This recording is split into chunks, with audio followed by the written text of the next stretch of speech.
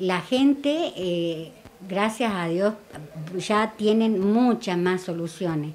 O sea, vienen acá, ya tienen un endocrinólogo, eh, que son especialidades que son difíciles de encontrar. Y siempre eh, uno busca de, de, siempre tener los recursos, siempre tener tanto los recursos materiales como el recurso humano para que darle la respuesta a la gente que la gente necesita y se merece.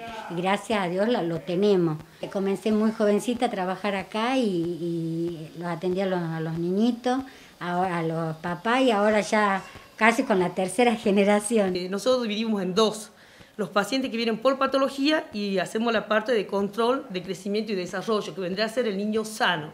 Todo eso lo hacemos de lunes a viernes. Controlamos la que tenga el esquema de vacunación completa, vamos viendo el, desarrollo integral del niño, vamos viendo el peso, la talla.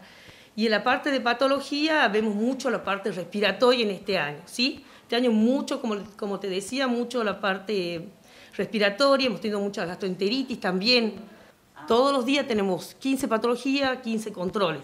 Y algunas veces, bueno, las emergencias, las urgencias y las otras cosas que puedan, que puedan pero ese es el diario nuestro. Este CAP atendemos eh, lunes, miércoles y viernes desde las 8 hasta las 17 horas. Por lo general atendemos a demanda a los pacientes en el sentido de que vengan por atenciones clínicas y hacemos muchas patologías crónicas en los pacientes, hipertensión, diabetes, obesidad, patologías de PO y patologías renales se trabajan en forma conjunta, más allá de la farmacia, con nutrición también. En todo paciente que ingresa a nuestro sector se hace peso, talla, control de glucemia, índice de masa corporal.